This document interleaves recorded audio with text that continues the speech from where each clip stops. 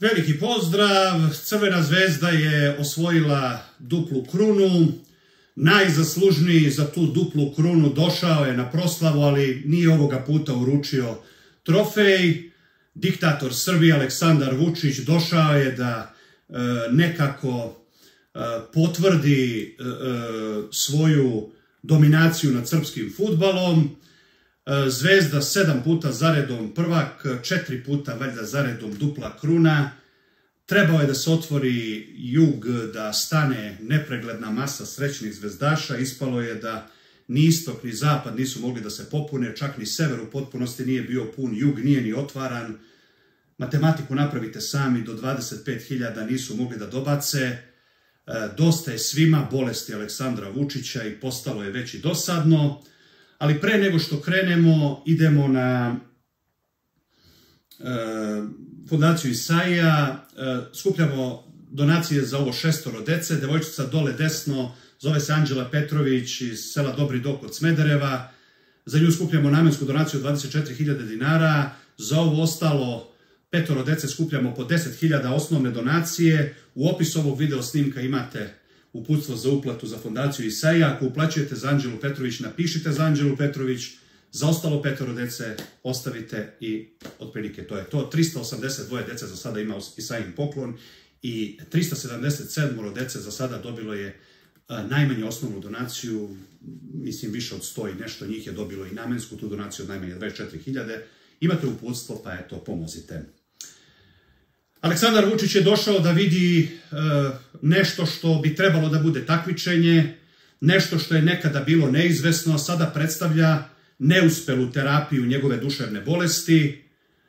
E, mi smo ratovali, bili bombardovani i tako dalje, imali smo i Miloševića i Koštunicu i koga god hoćeš, nikad niko se nije ogrtao zastavama, okupljao vladu da se ogrće zastavama i tako dalje. Dakle, mi smo u stanju jedne ludnice na otvorenom i u sklopu svega toga prvenstvo u kome Aleksandar Vučić odredio da imamo 16 timova, bivša Jugoslavija sa 22 miliona stanovnika imala ih je 18, prvenstvo u kome Aleksandar Vučić postavio komesara za suđenje u sred sezone, prvenstvo u kome Aleksandar Vučić postavlja četiri vezana trenera na klupi Partizana i sad postavlja petog, Aleksandar Vučić koji je Zvezdi dao za, samo za platni fond više para duplo nego što je Partizan imao ukupni prihod i budžet u prošloj kalendarskoj godini. Aleksandar Vučić koji je iz državnog sistema zatvora doveo zatvorskog čuvara koji praktično nije ni futbalski sudija, koji je sa 14 odsuđenih utakmica u životu u elitnom rangu dobio da sudi dva derbije i da oba odluči kriminalnim odlukama.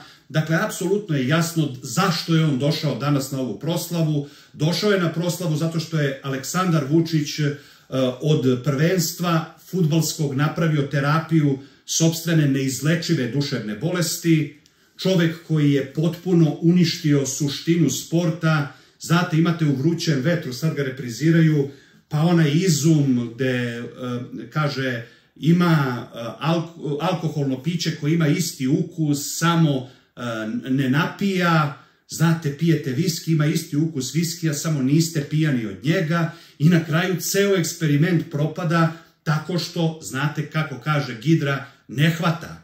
Ljudi ne piju zbog ukusa, piju zbog toga da bi makar delimično bili opijeni, da bi makar imali neki, neku aromu alkohola i tako dalje. E tako vam dođe i prvenstvo, dođe vam ovo prvenstvo kao iz tog vrućeg vetra taj viski bez alkohola, takmičenje bez neizvesnosti i onda dođete do toga da umjesto da zvezda otvori jug, da sever bude krcat, da istok i zapad budu krcati, mi danas imamo pola kapaciteta koje je 52.000 zvezdin kapacitet, to više od 25.000 ljudi nije bilo danas. Znate, da, Aleksandar Vučić je dakle napravio od prvenstva nešto što je, kažem, neuspešna terapija njegove duševne bolesti, on ne treba da se ogrće zastavom, za njega je jedna druga vrsta košulje odavno spremna i na futbalu se to najviše vidi.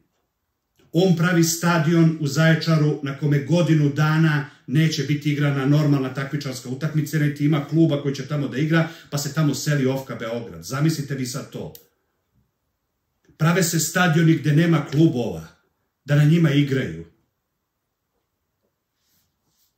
Pravi se stadion od milijardu evra skuplji od stadiona Santiago Bernabeu, iz koga raste drveće, pa u sklopu svih tih duševnih bolesti je i Aleksandar Vučić koji je došao da vidi e, e, pilulu e, za smirenje koja se zove Zvezdina dupla kruna.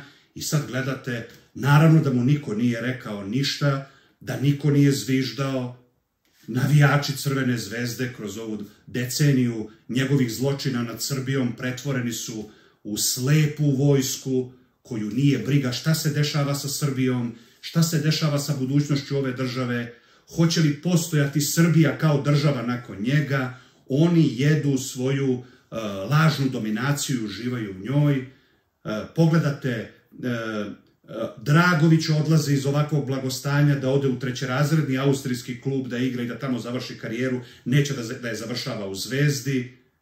Najtrofejniji igrač u istoriji Crvene zvezde Milan Rodić, krajvica, i Aleksandar Vučić preko informera najavljuje da će Zvezda sljedeće sezone biti e, tim od 90 miliona evra, da njega, njego, njego, njega neće pokolebati katastrofalna sezona, u kojoj su potrošene najveće pare, doživljen ponižavajući fijasko u Ligi šampiona i na kraju titulu je morao da spašava zatvorski čuvar.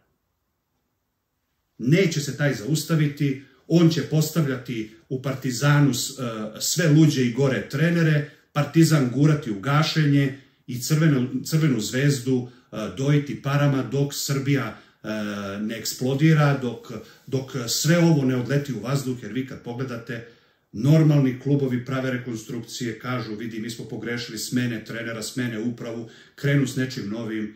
U ovoj eri Aleksandra Vučića to ne postoji i on nakon najvećeg, možda kad gledate u odnosu na uloženi novac, najgore sezone Zvezde od njenog osnivanja neće stati, nego će da napravi Zvezdu od 90 miliona evra, znate.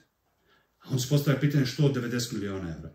Što ne od 900 miliona evra, znate?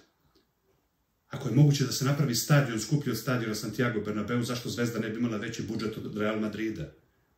Vučićeva duševna bolest ima kapacitet da nas dovede i do toga, znate. Ja ne sumnjam da će masa plastelinska masa navijača, ovih 25.000 što su došli da ovo slave i koji su došli da pozdrave svog vođu, ja ne, ne sumnjam da bi oni rekli da oni to zaslužuju i da je istu tako milijardu dao Tole Karadžić kad je i Boris Tadić kad je Partizan bio tu, znate. A Boris Tadić dao uh, Gazprom uh, Zvezdi, a Partizanu 800.000 evra u struji kad je ušao u Ligu šampiona. Ali nema veze. Tako da eto, kraj prvenstva, zvezda od 90 miliona evra u najavi i izlečenje Aleksandra Vučića ni na vidiku. Eto. Veliki pozdrav.